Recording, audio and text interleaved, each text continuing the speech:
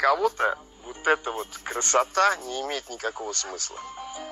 А кто-то вот этим всем восхищается и чувствует в данный момент себя счастливым человеком.